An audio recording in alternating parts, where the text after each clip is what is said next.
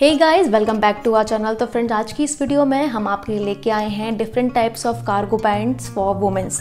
तो आप इस वीडियो को आप एंड तक ज़रूर देखना फ्रेंड्स आपको ये वीडियो काफ़ी ज़्यादा पसंद आने वाली है और अगर आप हमारे चैनल पर न्यू हैं चैनल को अभी तक